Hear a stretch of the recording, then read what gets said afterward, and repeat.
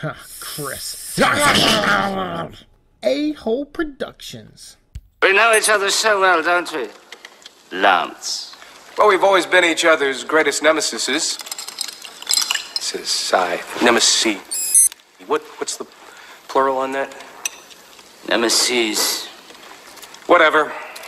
Hey, what's up, everyone? Welcome back to Nemeseek, and we are going to cover over the next few episodes some information that came out about Resident Evil 8 Village uh, from the Tokyo Game Show uh, 2020 this year. And they showed off like a presentation yesterday. I did a live reaction to it. I'm, I'm pretty sure it's deleted by now if you're watching this because uh, I felt like what they gave there was more information and not a lot of uh, visuals as far as like new stuff goes, visuals, although we got some things. But they also have another presentation uh, tomorrow on Sunday and I kind of want to wait to see if there's more gameplay then, and then we'll cover more of the visual stuff at that time. So I deleted that live stream, and now what we're going to do is we're going to just break up the information that came from that over the course of the next few videos. And so this one I want to focus on the thing that matters most to me when it comes to video games, which is, uh, and, and, storytelling in general, which is character.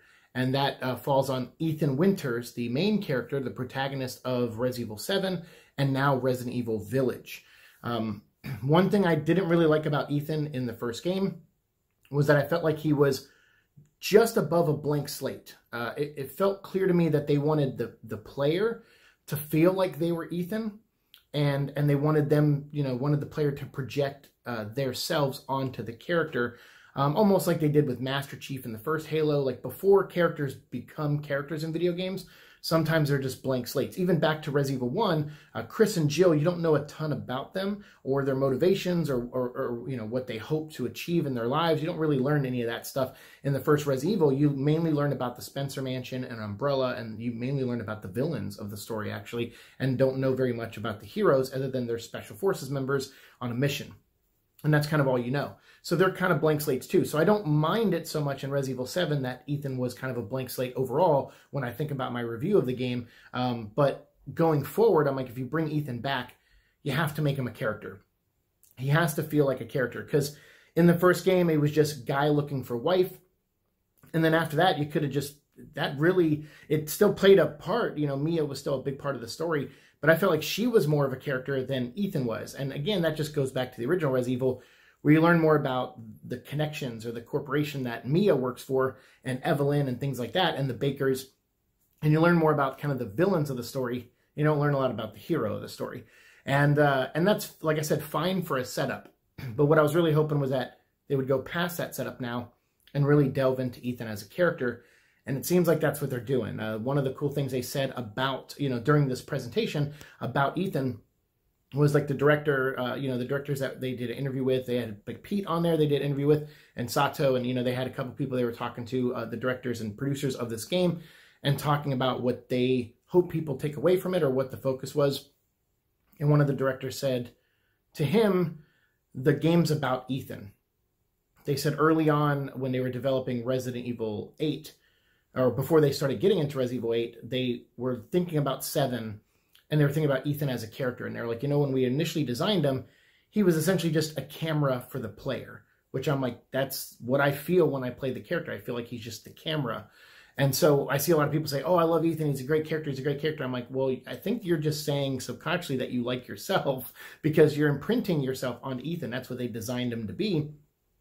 He's not much of a character in that first game. Uh, so so now they're saying they realize that and that they want to actually flesh him out as a character and really tell his story. And even one of the directors says, you know, when I think about the heart of what Village is, it really is Ethan's story. And he goes, it's him as a character, it's him as a human being, as a person.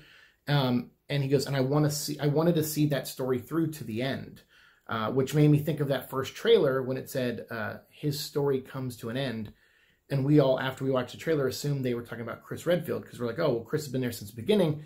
It makes sense they would wrap his story up. But I was thinking, well, that sucks if they wrap his story up in a in a game that doesn't have Claire in it or Jill, because then there's no closure really. Um, so you know, unless they like, there's like a funeral at the end with all the characters show up or something like that. But I'm sitting there, you know, thinking, oh, that doesn't make sense to wrap up Chris's story in a game where he's not the main character. So now it makes me think his story comes to an end is actually about Ethan. because uh, the way they talk about him in this interview is they they kind of explain we want to tell his whole story. We want you to fully understand who Ethan is as a person, as a as a character in a video game, as a person or human being in this world. We want you to understand all of that, and and under, you know understand him as as, uh, as your protagonist, and see his story. Like that. like I said, they said they want to see his story to the end. So hearing all that gives me a lot more hope for Village as far as like you know feeling something for the main character, because I I feel for a guy who's like, hey. I lost my wife a few years ago and I need to find her. Like I of course I have empathy for that, but past that, I really didn't feel much for Ethan throughout the game, other than, you know, I felt fear myself because you're fighting all these insane monsters and stuff. So to hear them say that they're going to focus on him like in this way makes me really excited for this game. So I wanted to, you know, focus this episode on that and talk to you guys about Ethan and the character of Ethan and the development of him and how he's going to be a major part. I mean, obviously he's the protagonist of the next game, but it's apparently his story. You know, it's like they, they say it two times in this like uh, you know behind the scenes video that they focus on him. They want the focus to be on him and they want to flesh him out and tell his whole story. And I want to hear your reaction to that. I want to hear your thoughts on that. Uh, you know, did you play Res Evil 7? Do you feel the same way about Ethan that I do? Uh, do you think he's a Blake Slate? I mean, I don't even know if that's an opinion. That is, they even say that in this interview that they designed him to kind of be a camera for the audience. And they just put in little character things like he's, you know, for a motivation, like always looking for his wife and things like that. But then beyond that, they were like, yeah, he was just kind of there and you play as him. But now they want to go past that and really make him a character, which, like I said, makes sense because after Res Evil 1, people started becoming characters. Chris and Jill and everyone and Barry. Uh, actually, Barry had more story, backstory to him in the first Res Evil than Chris and Jill did. Um, but then, you know, also like Halo, Master Chief, kind of a blank slate in the first game, develops more as the games go on. So I'm all for that. You know, the foundation has been laid in Res Evil 7. Now we get to build off that foundation and see who Ethan is, learn about him fully, and uh, and see kind of what he will do as he um, faces what seems to be probably the most uh, heart wrenching and dramatic parts of his life. I mean, losing Mia once was already one thing, but we see in this, like you know, it's it appears that she gets shot by Chris Redfield, and that there's a lot going on, and he gets dragged over to this country and is now dealing with werewolves and stuff. Uh, you know, so I'm really curious. Like I'm, I'm I honestly don't know where this is going to go. like I, I don't because it seems like Chris takes Ethan there, and it's like, well, why would Chris do that? And we're gonna learn more about Chris, and we'll do, after like they if they show more gameplay or they get more information out, I'll make a video about where Chris is. Uh, they did release a bio of him saying he still works in the BSAA, so maybe we'll make a video on that later on and talk about that. But for this episode, I just want to talk about Ethan and give you my thoughts on Ethan and then the developers and what they say about Ethan for this next game. So what do you think? Do you think this is Ethan's last story? Um, because it sounds like they want to just put all the cards on the table of who Ethan is and what his journey is in this game. And honestly, you know, I wouldn't mind that if they were like, hey, let's, we just developed this character in the last game. Let's send him out on a high note. Let's make people wish we don't do something bad with him or wish we don't tell the last story with him. We hope that he, you know, that we want the audience to yearn for more of him.